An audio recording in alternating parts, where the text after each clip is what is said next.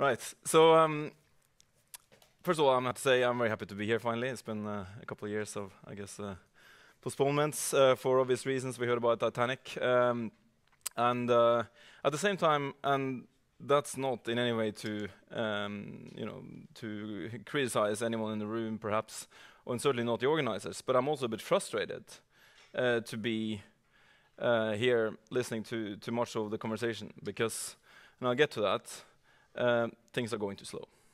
And I'm going to be a bit of the climate extremist in the room and say a few things to that effect. Firstly, briefly on Bellona, I think many of you know Bellona from before, founded in Oslo, Norway, in uh, 1986. Also probably the first NGO, one of the first organizations in the world to work on CCS back in 96.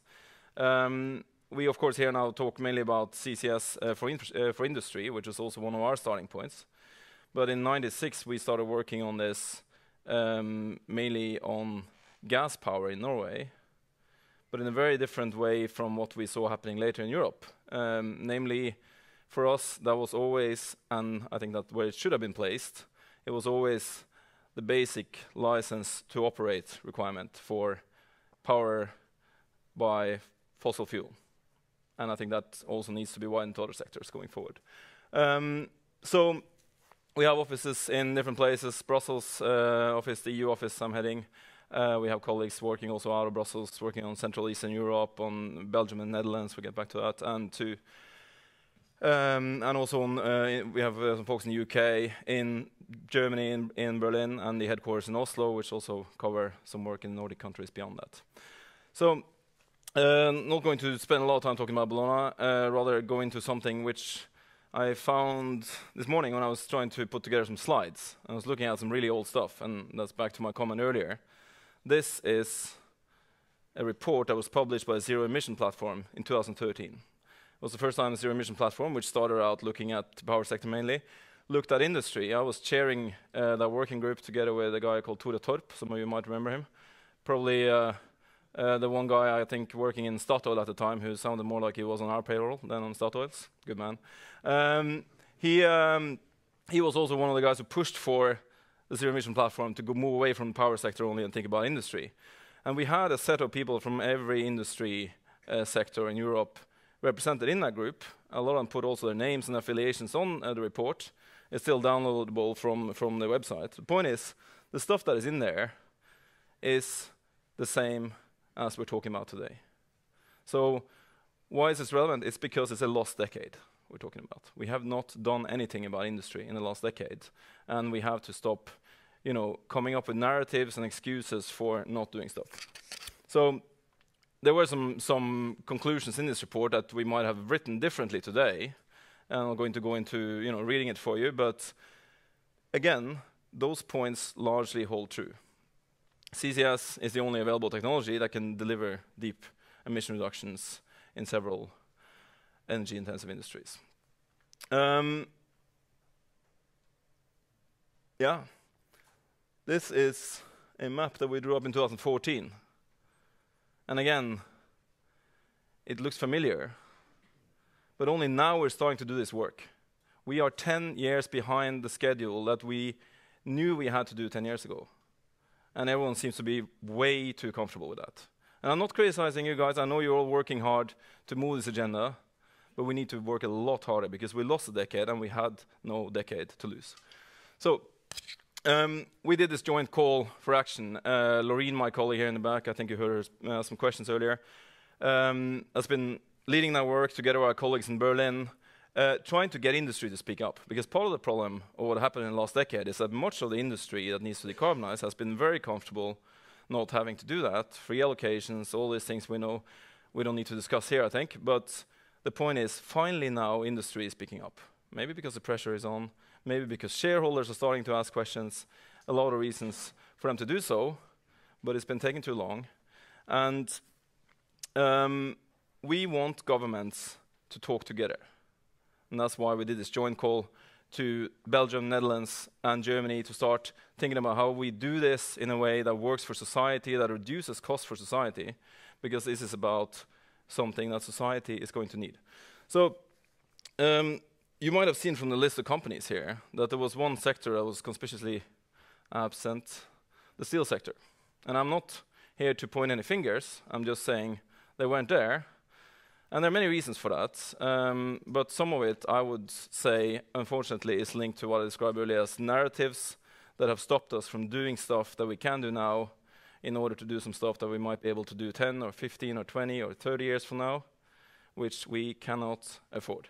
So um, in the case of Tata Steel, and all the Dutch people in the room at least will know that story quite well, I think. Um, there's been a lot of uh, things happening. The last year we had a decision uh, coming out of Tata and the ministry to go for what is generally known as the direct reduction route, um, using, at least on paper, hydrogen, green hydrogen ideally, uh, to cut emissions from steel, moving away from coal. Great, awesome. Except one thing, there is no plan. There is no plan to get all that hydrogen. And we did a case study on this, uh, which you can find on our little website from pollutiontosolution.org, which we're trying to fill with little case studies looking at all the stuff that's being proposed by various sectors as climate fixes, and look at the numbers, look at resource requirements, look at timelines, and try to understand what is actually being proposed. So this is not to criticize DRI, or it's not to criticize Tata, or it's not to criticize hydrogen. It's just to ask, where's the plan? Who is going to provide all the renewable electricity that is going to run this stuff? And we know that Tata says, well, you know, until then, we're going to run on gas. Now, I think they might have to reconsider that one too. But this is the same for the whole steel industry. ThyssenKrupp, Salzgitter, they're all saying the same. They're going to run on gas until they have the, the hydrogen, but there's no gas. So what is the climate plan? Are we now looking at a steel industry that's going to do nothing for the next decade because there's no gas and there's no hydrogen? Or are we going to do stuff that we can do in the next couple of years, which brings us back to what Tata initially had planned? I'm not saying that CCS is the ideal fix for steel. I'm just saying we don't have another decade. Okay, so uh, sorry if I'm getting a bit agitated here. Um, this is not only about steel. I'm not trying to single them out. Uh, cement sector. Um, there's been a lot of people talking about, you know, should we use electrification uh, for cement? Should we use uh, hydrogen for cement? Um, even the cement sector itself, uh, Cementa in Sweden had a project, I think they're still going with Vattenfall, to electrify the part of the cement production which is linked to heating. Uh, so, uh, you know, the basically about 40% of emissions come from that. I'm going to show you just quickly some figures here. Um, what you see here is, I'm not sure if I can point here, can I? What you see here is current cement production. Uh, this is the energy requirement here. So this shows how much energy they're using at the moment, electricity, I should say. This is the emissions. We are saying about 0.74 tons of CO2 per ton of cement. Then, if you would do CCS on this cement, you would double the uh, energy demand in order to drive the CCS process. You cut the emission to close to nothing. You might even get to zero, but then you will have a little bit more energy use. That's just to show you know, the relation here.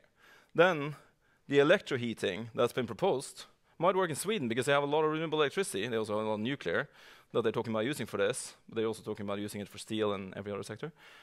Then you will cut some of the emissions, about 40%. You're still left with this stuff, and you have a lot more energy use.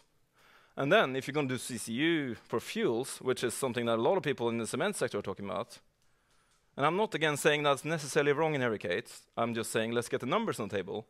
You see this one has been cut. And it's cut here because this is six times as high as this. Six times. Okay? So it would just way out through the roof. To do CCU for fuels from cement that will cut emissions at the cement plant, but still will have some emissions here at the uh, car engines that are going to burn that fuel. So just again, put this in perspective. Same steel sector, we already showed some numbers on that. Uh, and then the chemical sector's own plan for decarbonizing says that just to do CCU for, uh, for, for chemicals in Europe, you need more than twice the entire electricity production in Europe today, just for chemicals. And that's not renewable uh, production, it's everything. I'm not saying it's wrong, I'm just saying there is no plan. So we need to ask these people to come with real plans. Okay, so this is the report from ZEP. Again, uh, I'm a vice chair of ZEP, I should have said. Uh, so I've been quite involved in some of this work. It's been quite helpful, I think. Point out a few things. Now it looks like I'm changing topic entirely. This is the other big part, which unfortunately is driving so much of our work. apart from exposing some of the narratives and proposals that don't come with numbers and don't come with plans, we also work a lot on what I would describe as carbon counting. Follow the carbon. So people talk about CDR, uh, negative emissions. Been talking about it for a long time. It's linked to CCS, it should be at least. Um, and we know we need it for the future. But there's so much confusion. Some people call CCS uh, carbon removal. Some people call CCU carbon removal. So we worked with, um, with a professor, Andrea Ramirez Ramirez from the University of Delft, and um, another uh, lady who's a PhD student who's now working for us, finished her PhD, um, to get in place some clear requirements and principles for what CDR is.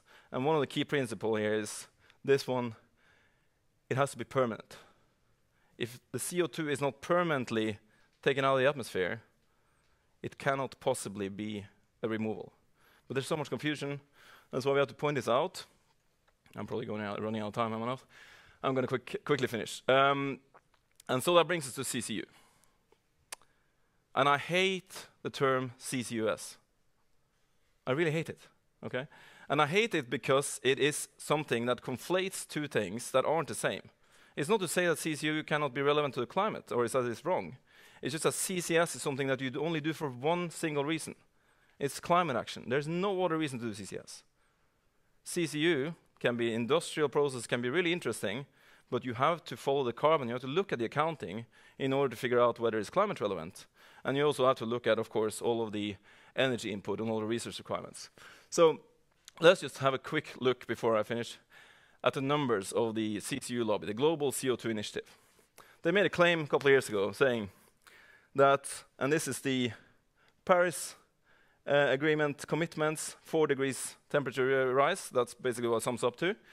And this is a 2 degrees uh, target. And they said 15 to 20% of that gap between the 4 degree world and the 2 degree world can be fixed by CCU fuels. Okay? So, aside from the point about where the carbon goes and following the carbon, let's look at the numbers that they're putting in. They're saying, and let's take the extreme um, uh, scenario here because that's the closing the gap. This is the 2030 goals that were between 0.07 billion tons and 2.1 billion tons, quite a, quite a gap between the two, but okay. Let's take the extreme scenario where they say this is 20% of the gap between a 2 degree and a 4 degree world and see what it leads to.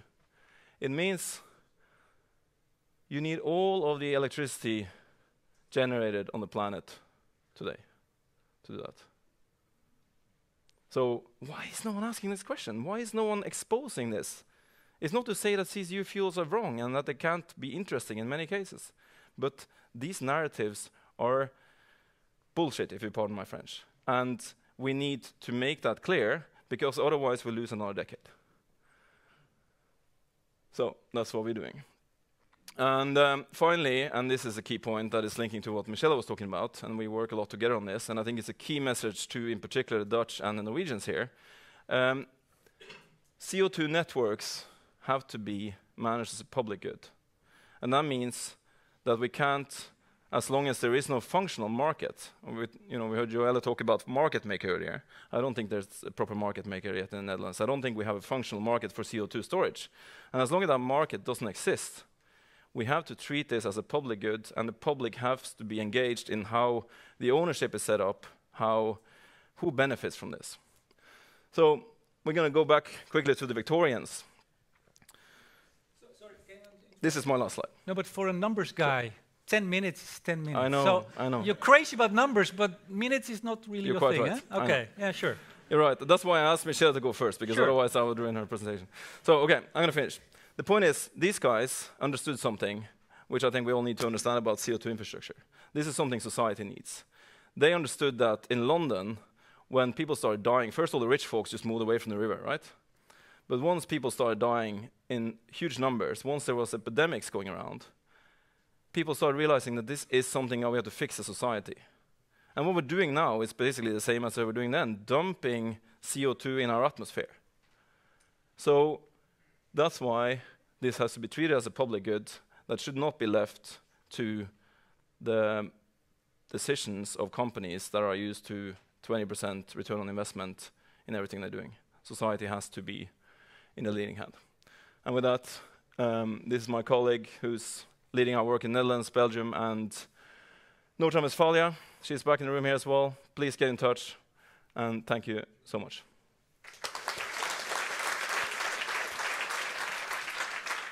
You will, you will be joining us in a couple of minutes in the panel. But I have one question uh, Sure, first. please. Please. Everybody's walking away from me. I, I don't know why. Every time you're, you, you're criticizing people very harshly, then you say, I'm, it's not to criticize. So I'm very curious, when do, when do you do criticize? What happens then? That's a fair question. Do you Uh, explode on stage or what? What? I am I'm probably close to it. You know, at some point, when you've been dealing with this topic for 10 years, and it's been a bit of a walk in the desert, I guess. Um, not much interest for a long time. Now it's all coming back. And again, 10 years of time, No, but- no, but we heard. But I mean, you're trying to be polite. You're criticizing very hard. because we have to work together to do Sure, this. yeah. That's the point. Okay. I mean, antagonizing people doesn't fix it. Okay.